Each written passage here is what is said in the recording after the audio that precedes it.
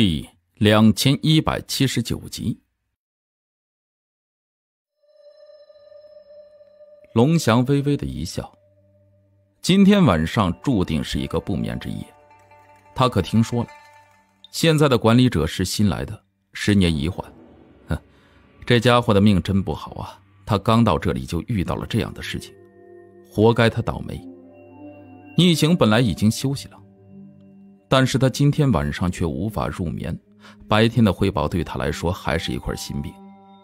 他不知道龙部来的消息准确不，但是想想牢不可破的巫山重玉，他还是觉得自己有些过于担心了。这个地方存在了那么多年了，从来没有出过事情，他不相信自己的运气会这么差，刚一上任就会出事不过，如果这件事情是真的，对他来说倒也是一个机会。他一个人力挽狂澜，岂不是更能证明他的实力？想到这里，逆行便披上了衣服，他要去死亡之谷看看。这个地方是重欲最强的防线，想要离开重欲，必须从这个地方离开。还好，死亡之谷高高的城防安然无恙，呃，大灯把这片谷地给照得灯火通明的。这个地方经过改造。已经成为了一个极具现代化的防守地，里面的人就算是突破重围，也不可能从这里逃得出去。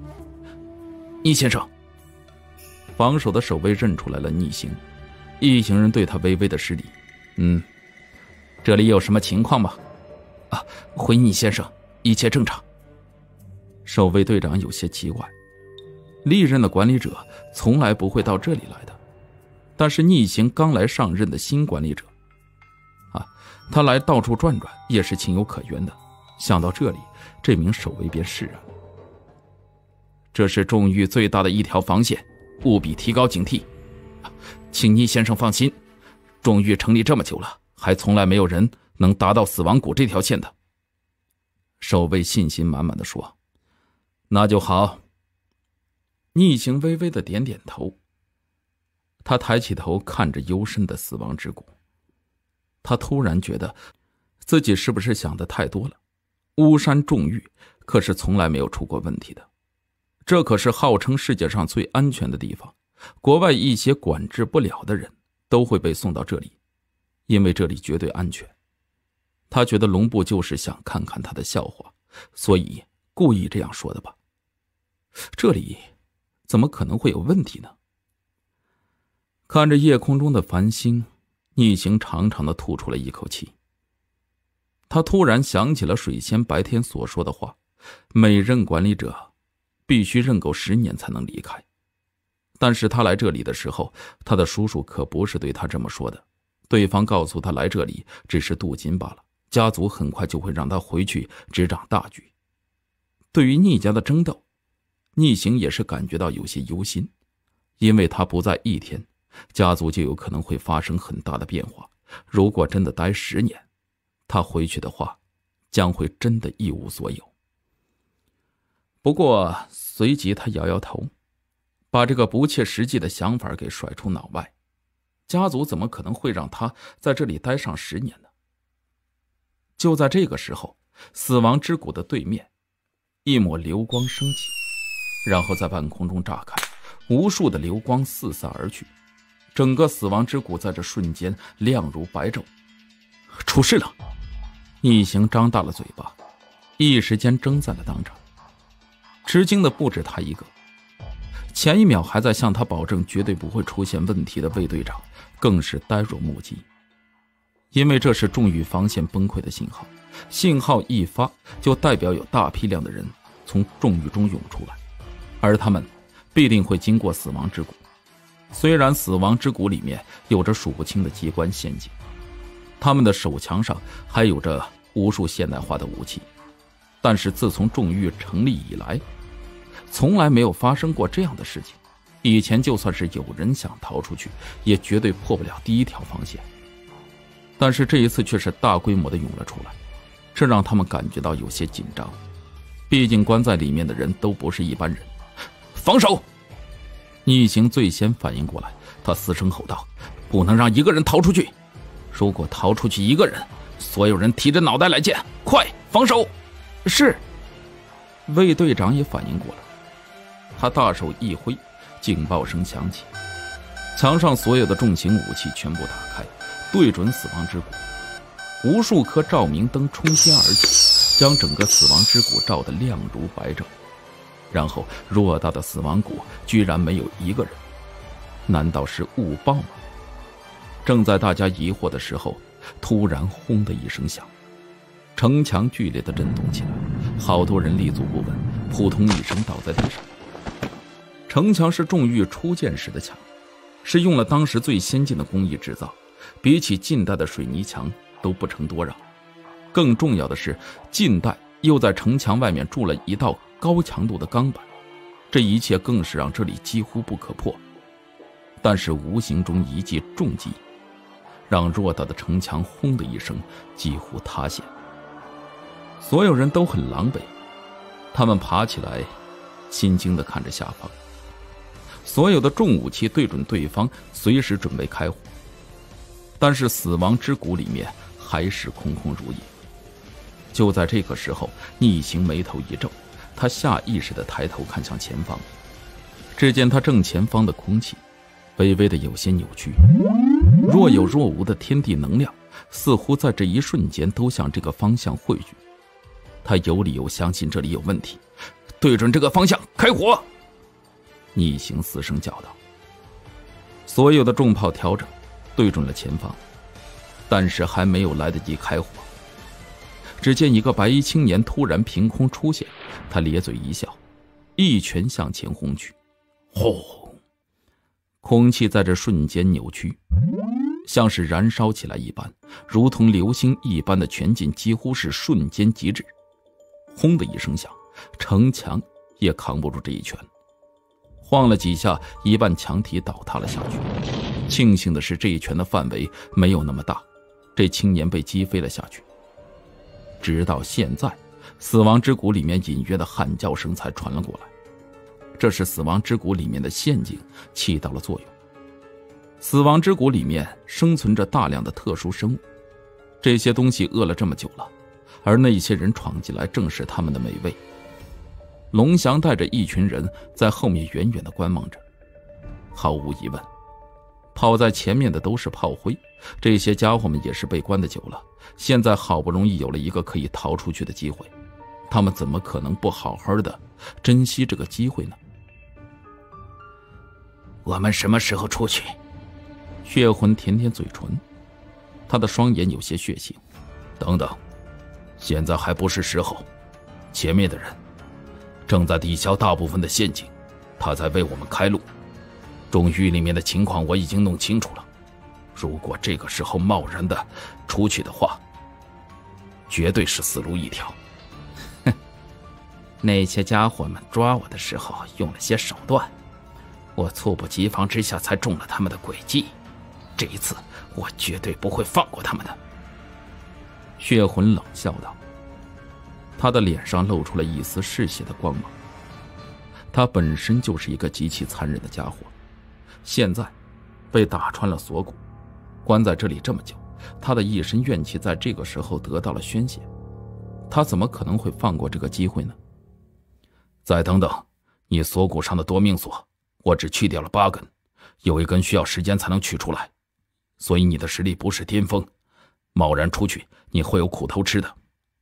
头儿，为什么我们突然要走？有人不解的问。哼，这个地方越待的时间长，意志就会越消沉。我在趁着我的意志没有彻底消沉之前，带大家出去，闯出一片新的天地。只有这样，我才不辜负大家对我的信任。龙翔不愧是天生搞这一套的，他就这几句话，就把这些人说的热血沸腾且服服帖帖的。他们坚信，跟着龙翔一定能闯出来另外一番天地。黑蛟没有说话，他一直在沉思。前辈，有什么问题吗？看出来了黑蛟的犹豫，龙翔上前问道：“前面的应该差不多了。”虽然闯出去的人多，但是大多数人的实力尚未完全的恢复。所以前面的守卫并不难熬，该我们上了。毕竟我们这一群人是巅峰状态的。龙翔这些天一直为今天做着准备，而且他在悄悄的为自己的班底恢复实力。但是前面的炮灰，可大部分的人的实力都是没有恢复的。毕竟龙翔没有那么强的实力。哼，前辈说的没错，是时候轮到我们上了，兄弟们，冲破这道屏障，以后我们海阔天空，自由快活。我保证一定会带着大家闯出一片天地来，请相信我，一切都听龙先生的。有人高喊道。一瞬间，这支队伍沸腾了。倪先生，先回去吧，这里交给我们，我保证不会有一个人能从这里走出去的。魏队长道：“你确定吗？”逆行紧紧的握着拳头。说真的，现在他有些紧张。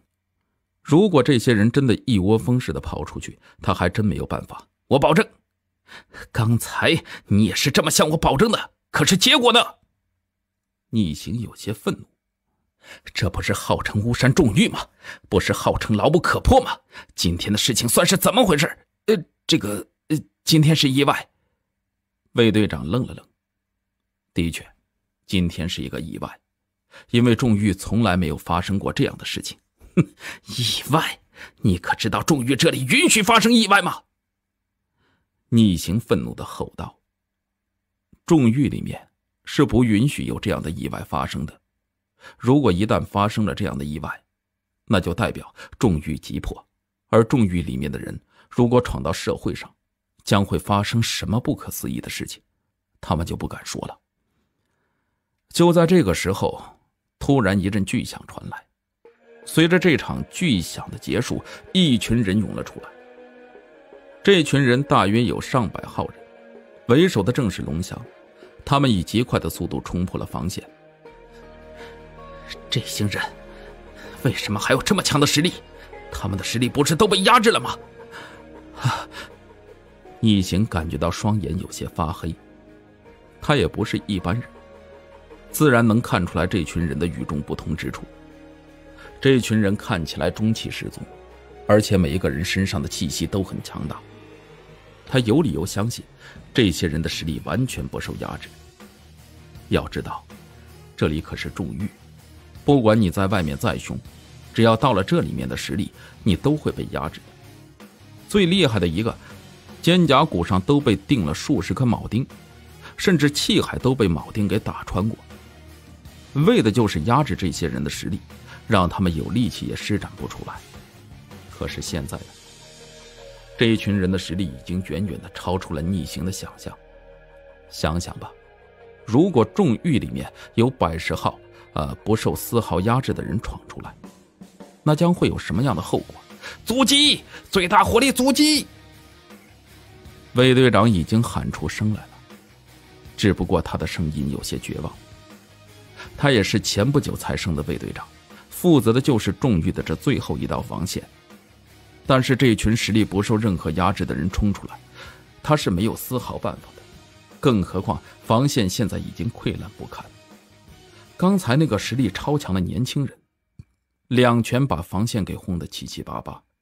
万一这群人冲上来，那后果将真的是不堪设想。现在只有拼了。重玉的最后一道防线绝对不能在他这里出事。突然，人群当中一团黑气涌起，一条黑色的蛟龙现出原形，一道黑色的龙息喷出来，死亡之谷的温度在这瞬间便下降了几十度，防线几乎是在瞬间溃败。龙翔大喜，他高喝道：“大家不要恋战，快点离开！离开死亡谷之后，以后海阔天空。”任我逍遥，不能让任何人离开。擅闯防线者死！逆行嘶喊道。他清楚，如果这里有任何一个人能越过防线，那对他来说都是极其的不利的。他就算是拼了命，也不能让任何人离开。残余的巨炮齐齐的转头，对准防线上的缺口，一瞬间，光华四起。巫山重遇的事情很快就传遍了各处。那一夜，对于逆行来说是这辈子都难以忘怀的。